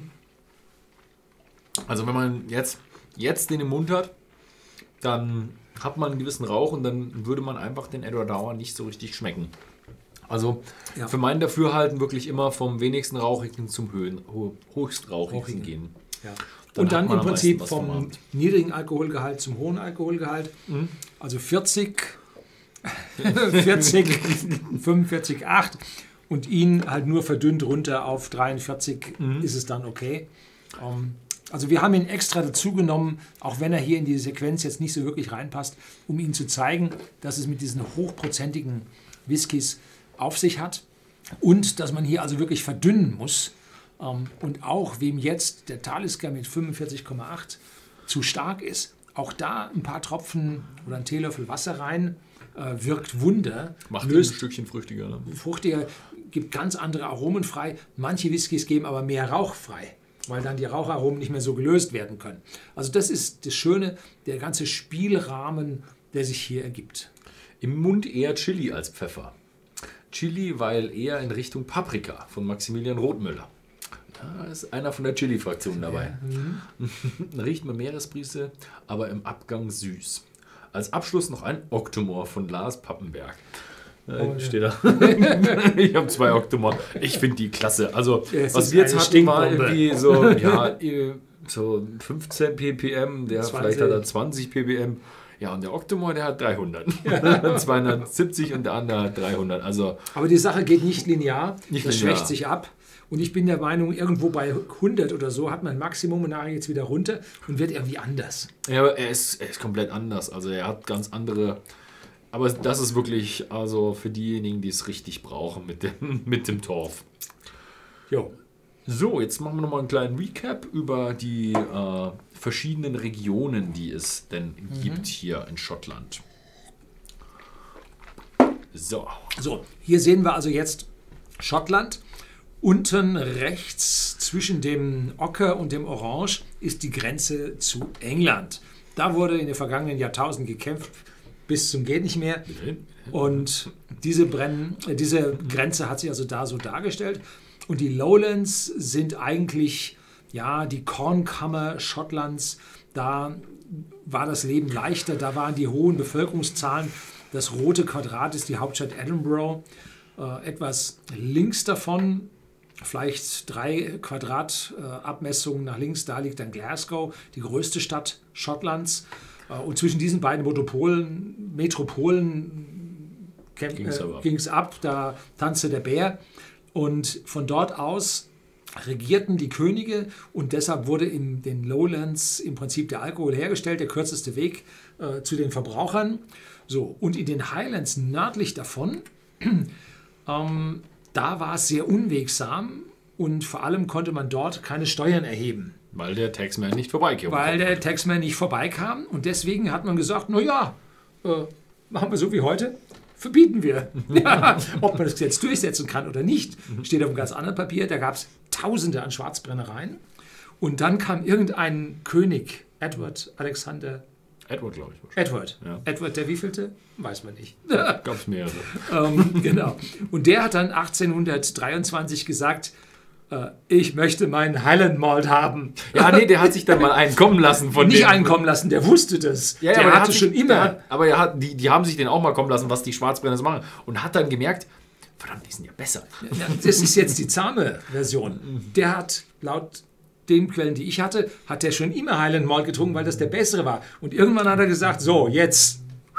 Gut, dann kam auch die Eisenbahn, dann mhm. war auch äh, die Verbindung in die Highlands besser, dann wurde das erschlossen. Das war, was war das 1823, 24 und da sind dann alle, alle Brennereien sind, sind 1824 aus irgendeinem Grund äh, gegründet worden, weil es legal wurde. Ja, da hat man dann die Lizenz sich geholt und, und vorher waren sie halt illegal und nachher hatten sie halt die Lizenz. Genau. Und dann ab da begann der Siegeszug des Malt Whiskys, der allerdings nach Deutschland sehr, sehr lange gebraucht hat. Und zwar kam der erst nach dem Krieg.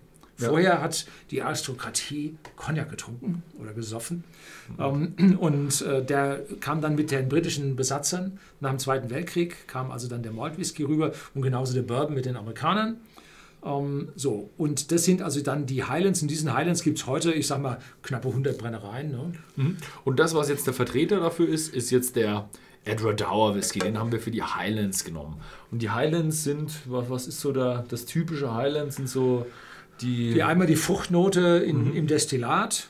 Aber auch so äh, Heidekraut und solche Geschichten, ne? Genau, mild. Und wem jetzt der ähm, Edward Dower gut äh, gefallen hat, können wir den Glendronach 12 Jahre empfehlen. Der ist jetzt äh, ähnlich dazu. Ja, wir können, ich kann sie noch in deine Kamera halten. Ja. Falsche Kamera. So, hier. hier. Glendronach, zwölf Jahre. Der ist also auch im Sherry-Fass gereift, ist wirklich bezahlbar und ist also eine schöne Ergänzung geschmacklich äh, zum Edward Dauer. Hat auch, äh, hat jetzt 43 Volumenprozente und hat also auch, glaube ich, nicht nur Oloroso Sherryfässer, sondern auch ein Teil, wenn ich mich richtig, ja genau, äh, Pedro Jiménez Fässer. Der Oloroso ist ein fruchtiger Sherry, der Pedro Jiménez ist ein süßer Sherry. Also der geht hier noch ein bisschen leichter von der Zunge. Mhm, genau. Ähm, die zweite Region ist eigentlich eine Region, oh warte, jetzt müssen wir wieder zurückgehen, ist eine Region in den Highlands. Also da, wo ungefähr das L ist, oder? Ungefähr ja. da, äh, ist dann der River Spey. Und das gibt dann die Spey Side. Also all das Wasser, was hin zum Spey fließt, äh, in und dort liegen die Brennereien, die nennen sich Speyside. Genau. Also die Wasserscheide zum River Spey gibt ungefähr die Speyside. Genau. Und in der Speyside gibt es tonnenweise Brennereien. Ja. Und äh, die sind äh, eigentlich dafür berühmt, dass sie ihren, äh, ihren Sherry-lastigen Whisky haben. Und wem jetzt hier so diese, diese extreme Sherry-Fruchtigkeit vom, vom äh, wie heißt der, Glenfarclas 105 gefallen hat, dem wird jetzt wahrscheinlich auch ein Abelauer gefallen. Kann man aber auch natürlich, also mit, äh, mit, genau, ja. ähm, kann man aber auch natürlich bei uns im Shop einfach auf Speyside gehen und oder auch schauen mit Sherry-Fasslagerung. Schau, da ist er nicht ganz so scharf wie hier hinten. Ja, so scharf. Ja, haben wir auf mich eingestellt. So, und diesen Abelauer, zwölf Jahre, da gibt es einen Zehnjährigen, da gibt es einen Zwölfjährigen, einen 15-Jährigen, einer meiner Lieblinge, 16-Jährigen, 18-Jährigen und hin und wieder noch was Älteres. Ähm, also diese Abelauer Brennerei ist richtig schön, ich soll mal sagen, gefällig, angenehm und hat äh, einen riesigen Erfolg in den letzten Jahren bekommen. Hätte hier dieser Zwölfjährige wunderbar statt dem Glenn Farkless auch gepasst. Ähm, ja. Ist aber jetzt kein Cask Strength, ne? Der hat jetzt nur 40 Prozent. Ja, der ist auf dem Massenmarkt abgestimmt.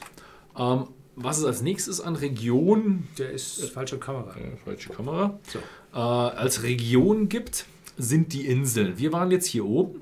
Das hier sind die Orkney-Inseln und die große ist dann da, wo äh, Highland Park drauf ist. Ja. Und ähm, dann gibt es hier, das ist äh, Sky. Das ist Sky, ja, die ist eine der größeren. Und hier unten irgendwo die Brücke, ne? Ja. Und auf Sky ist dann der Talisker zu Hause. Und zwar auf der, äh, auf der anderen Westseite. Seite. Ne? Genau. ähm, dum, dum, dum, dann gibt es hier unten drunter noch andere Inseln. Hier das ist Mull, die nächste Mull. ist Mull. Und darunter, das ist Jura. Das ist, da, genau, das ist Jura. Mhm. Und ähm, hier der Highland Park, der ist vergleichbar vom, vom Rauchgehalt jetzt mit äh, dem dem Jura. Und zwar mit dem Superstition. Eigentlich haben Superstition. leider keine Flasche da wir gehabt. heute irgendwie verbummelt. dumm haben wir den Prophecy mit diesem mhm. beobachtenden Auge ja. äh, da drauf. Der ist, der ist deutlich rauchiger. Mhm. Aber mit dem Superstition von Jura kommt so ungefähr mit dem Rauchgehalt von Highland Park hin. Ich glaube aber auch, der Superstition ist ein Ticken rauchiger als Highland Park, kommt aber auch von den Inseln. Ganz offiziell sind die Inseln keine eigene Whisky-Region. Gehören zu den Highlands. Sondern sie gehören zu den Highlands. Mhm. Genau, und äh, wem jetzt der Talisker am besten geschmeckt hat, vor allem halt die Rauchnoten, der ist dann auf der äh, wieder, der ist dann auf der Isle of Isla ist der zu Hause. Und das ist eine eigene Region. Das ist eine eigene Region, die ist definitiv eine eigene Region, denn die Isle of Isla, da sind überall die, ähm, wie heißt die, die Torffelder und die Brennereien, die richtig torfig brennen zu Hause. Denn Isle of, die Isle of Isla ist halt so ein bisschen abgeschieden. Und da haben sie als letztes ähm, die Kohle bekommen, mit dem man ein neutrales Heißdampf machen kann. Und deswegen haben die eben bis zum Schluss noch äh, Torffeuer benutzt. Und das ist dann irgendwie zu ihrem Markenzeichen geworden. Und dann gibt es hier äh, einen der, der Klassikvertreter für die Isle of Isla. Und das ist der Lagavulin, 16 Jahre aus der, von der Südküste von Eila mit, was haben die, 45 ppm habe ich in einem ja. Video erzählt. Haben sie mir auch in der Brennerei erzählt, dass die 45 ppm genau. Ähm, Und das muss man sagen, abwiegen. ist einer der meistverkauften schottischen Single Malt genau. Whiskys überhaupt. Und das ist äh, ja der Hammer. Also mhm. der Hammer, also da qualmt aus den Ohren raus. Der hat ja, auch 45. Also den Unterschied zwischen 20 und 25, den schmeckt man noch auf jeden Fall. Also 25, da ist, da und 45 ist ein riesiger. 45. Also es ist ein riesiger Unterschied zwischen dem. Aber wer jetzt diese, diese leichte Rauchnote, wem die gut gefallen hat, der äh, sollte sich mal einfach mal ein bisschen auf äh, Eiler umschauen, denn auf Eiler ist wirklich, da ist der Rauch zu Hause und den, den Lagavulin, den, der hat auch richtig Schinkengeschmack. Ja, genau. Richtig Schinken, aber, aber so richtig. So. Gut, willst du noch irgendwie Fragen machen oder jetzt will wir mal eine jetzt Schauen wir mal vielleicht zum Schluss noch ein bisschen. Wir haben ein bisschen Zeit. Aber ein bisschen Zeit. Also gerne, falls ihr noch irgendwelche Fragen habt, falls wir irgendwas übersehen haben, Natürlich. was der, was der ähm, Anfänger denn gerne wissen würde, einfach mal in den Chat also schreiben. Dann, dann stelle ich, mal, dann stell ich jetzt mal die Frage, ähm, die sonst normalerweise immer gestellt, was ist Ihr Lieblingswhisky? ja, die, die Frage, Frage habe ich erwartet, ist nicht gekommen. Ähm, ähm, das Wichtige daran ist, sollten Sie hier auch sehen, ähm, es ist nicht der einzelne Whisky, der es ausmacht sondern es ist die Reise. Die Reise durch die verschiedenen Whiskys mit den unterschiedlichen Geschmäckern. Und da darf dann ruhig auch mal einer dabei sein, der einem nicht so toll schmeckt, weil dann ist der nächste wieder umso besser. Also insofern ist es die, die Jagd nach dem besten Single Malt Whisky, nach dem besten für einen selber. Und für jeden, für jeden Einzelnen unter Ihnen ist halt ein anderer Whisky der beste. Ja, das ist für mich äh, die Faszination beim Whisky dass man so eine riesige Variation hat. Man hat schon bei den Schotten hat man schon so eine riesige Variation, schon allein mit den verschiedenen äh, Regionen. Dann hat man die verschiedenen Fassnachlagerungen. Wir hatten jetzt hier Sherryfässer, wir hatten Torf drin. Es gibt auch noch Weinfasslagerungen und ich glaube, Leute haben auch Bierfasslagerungen gemacht. Heringsfass. Heringsfass. Oh. Nein, das fehlt. Das, haben wir, das haben wir noch nicht gemacht. Aber ähm, sie haben ein Fass im Wasser untergehen lassen. Ja, ein Fass im Wasser untergehen lassen. Und wenn man dann weiter nach Amerika geht, dann hat man auf einmal diese extreme Süße mit dem Mais. Und dann gibt es auch noch den Rye Whisky, der hat so eine richtige Würze drin. Vom Roggen her. Ja. Vom Roggen her. Also es gibt beim Whisky so eine große Vielfalt. Dann hat es beim Kowal, haben sie noch einen aus Hirse gemacht und alles, alles durch. Und jetzt schauen wir mal. Vielleicht sind ja schon ein paar Fragen gekommen. Äh, wie kann man seinen Geruchssinn sensibilisieren? Äh, trainieren, riechen sie teilweise, äh, rieche teilweise nicht so viel raus. Ja, das geht also im Prinzip Übung. mit Übung. Und zwar, man hat auf der Zunge nur relativ wenig Geschmäcker, so süß, sauer, salzig und Umami. Das ist so ein fleischiger Geschmack. Und da dachte man erst, nun, man hatte so fünf, sechs Geschmäcker und fertig. Aber dieser fleischige Geschmack alleine sind 30 verschiedene Rezeptoren. Ähm, so. Aber man hat im Prinzip, äh, sagen wir mal, 100 maximal verschiedene Rezeptoren auf der Zunge. Aber über die Nase hat man Tausende, die man über die Jahre lernt. Alles, was ich Ihnen empfehlen kann an dieser Stelle, ist, riechen Sie an allem, was Sie haben. Riechen Sie an allem. Heben Sie ein Stück Moos auf, wenn Sie spazieren gehen, riechen Sie dran. Äh, riechen Sie an einem Tannenzapfen, riechen Sie an ein paar Nadeln. Äh, riechen Sie alles. An Whisky. Am Whisky, an allen Whiskys. Äh, riechen Sie an allem Essen dass sie hingehen, also nicht im Prinzip, jetzt fange ich das Essen an, sondern zuallererst Gabel, Löffel, Messer, was auch immer, unter die Nase riechen, riechen, was ist denn da überhaupt? Und dann erst essen. Also dieses Riechen an allem führt zu einem Erfahrungsstand, der mit der Zeit sich dann darauf abbildet. Und vor allem essen sie nicht immer das Gleiche, essen sie unterschiedliche Dinge. Ne? Mhm. Kaufen sie nicht immer Äpfel, sondern kaufen sie auch mal eine Orange, eine Grapefruit, mhm. eine Pampelmuse, einen Granatapfel und so weiter. Äh, da finden sie Aromen so unterschiedlich. Ähm, das macht es dann aus, was mit den Jahren kommt, weil die Geschmäcker auf der Zunge haben sie ererbt, die Aromen in der Nase können sie lernen, weil von der Nase aus die Nervenfasern durch die Schädelplatte ins Gehirn gehen, ins sogenannte olfaktorische Zentrum und das lernt. Und vor allem lernt es, wenn es toller Geruch ist, lernt er positiv. Und äh, der Geruch eines Löwen ist typischerweise negativ belegt, äh, weil man dann weglaufen musste. Ne? Mhm, ja. so, und damit hat also dieser Geruch, äh, ja. Ja, also es ist, ein, ist eine Trainingsfrage. Genau. Okay. Werden die Fässer in Schottland gefertigt oder importiert? Also das habe ich äh, ziemlich gut erörtert. es gibt ein Video von mir, das ist, glaube ich, wie heißt es, die ähm, Brown Foreman Cooperage. Also es ist die Brown Foreman Fassmacherei. Brown Foreman ist der Konzern, äh, dem äh, Jack Daniels gehört. Und die produzieren alle sieben Sekunden, acht Sekunden, produzieren die ein Fass. Und da kommt dann äh, ihr Bourbon rein, Woodford Bourbon oder eben der Jack Daniels rein. Und die werden dann in Amerika einmal verwendet. Und dann gehen die Fässer, mittlerweile ganz, früher wurden sie zerlegt, äh, gehen die auf die Reise nach Amerika, äh, nach Schottland. Schottland. Und da werden sie dann wieder äh, befüllt und werden dann, dann noch ein, zwei, drei, vier Mal Bei den verwendet. Premium werden sie maximal dreimal verwendet. Mhm. Und wenn es dann so auf die Blended Whiskys im Supermarkt geht, dann werden sie zehnmal verwendet. Genau. Aber man kann dann die Fässer noch aufbereiten, dass man sagt, okay, man, man dreht die Fässer nochmal aus. Das Ausgelaugte, die Innenseite wird, wird ein bisschen abgerieben, ja. abgekratzt. Und dann wird das Ganze nochmal angesteckt, weil die Fässer werden in der Brown Forman Coopage werden die getoastet. Das ist, man macht die Fässer heiß auf 150, 200 Grad. Man weiß es leider nicht, das ist ein Geheimnis. Sie haben es uns auch nicht gezeigt. Mhm. und dann werden sie ausgebrannt, dass innen noch so eine kleine Holzkohleschicht entsteht. Die filtert den Whisky auch nochmal ein Stückchen. Ja, und äh, dann kommen sie noch natürlich aus Jerez und aus äh, Südspanien, ja. Südspanien und aus Portugal bekommen sie halt auch noch die Sherry-Fässer, wo vorher der Sherry-Fässer verwendet wurden oder aus Portugal die Portweinfässer. Und da gibt es noch Madeira-Fässer und Weinfässer. Also die Schotten kaufen sich die Fässer einfach so irgendwo zusammen. Gibt auch selten schottische Whiskys, die frische Fässer verwenden. Ja, aber ganz, ganz aber selten, selten, schottisches Holz. Also es, es gibt Sehr eins mit schottem Holz, aber Echt? ich glaube, das war ein Whisky von 10.000. Ne? Mhm. Und dann gibt es natürlich auch noch äh, das, die Mitsunara-Eiche. Das ist die Eiche, die Quercus mongolica, die kommt aus so Korea und Nordjapan und die, die haben dann auch ihre Fassmachereien da unten, aber sehr vereinzelt und fast 1000 Euro. so, gibt es einen Whisky, der nächstes Jahr rauskommt, auf den Sie sich freuen? Ja, ja. ja. den, ich habe ihn schon probiert.